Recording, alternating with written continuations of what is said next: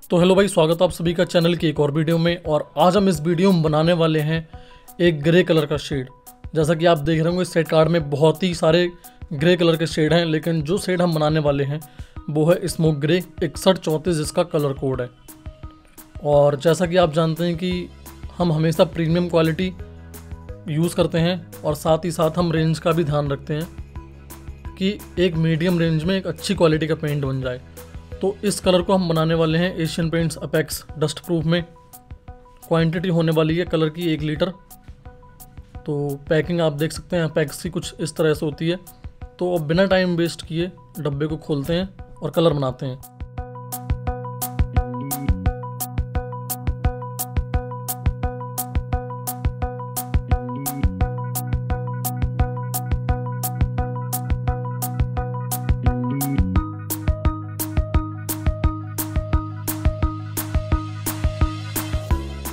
तो तीन तरह के कलर हम इसमें डाल चुके हैं स्मोक ग्रे कलर बनाने के लिए, जो कि है ब्लैक और ब्लू और हल्का सा मैजेंटा कलर शेड देने के लिए।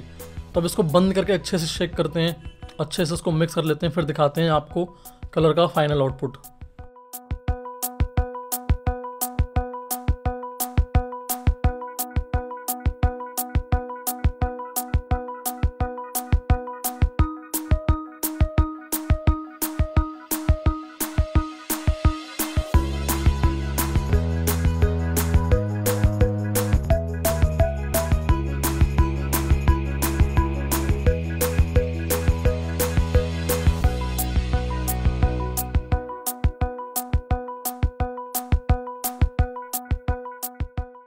तो आप देख सकते हैं कितना प्यारा कलर का शेड बन चुका है। स्मोक ग्रे कलर इसको बोलते हैं और एक प्रॉपर शेड ये ग्रे कलर का है, डार्क ग्रे।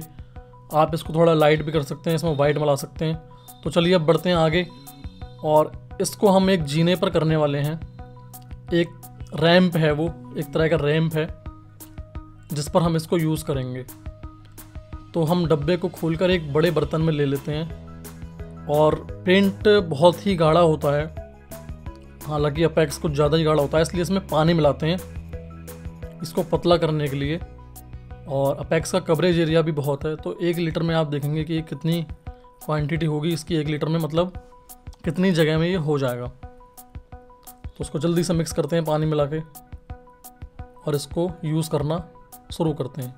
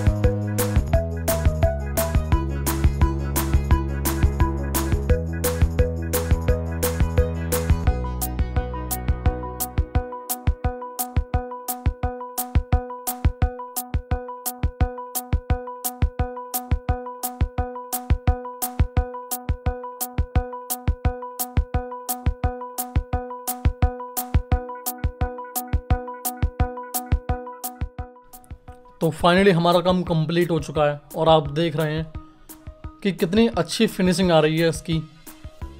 अपेक्स हमेशा अपनी क्वालिटी के लिए ही जाना जाता है और जहाँ भी आपकी पैर रखने की ऐसी जगह हो या पैलकारी टाइप हो, आपको जीने पर कभी करना हो तो आप हमेशा अपेक्स डस्ट प्रूफ या अपेक्स टाइल गार्ड का इस्तेमाल कर सकते हैं। तो आप देख सकते हैं कितनी अच्छी फिनिशिंग है। तो आज की वीडियो में बस इतना ही। देखने के लिए बहुत बहुत धन्यवाद। मिलते हैं ऐसी ही एक और वीडियो में। नमस्कार।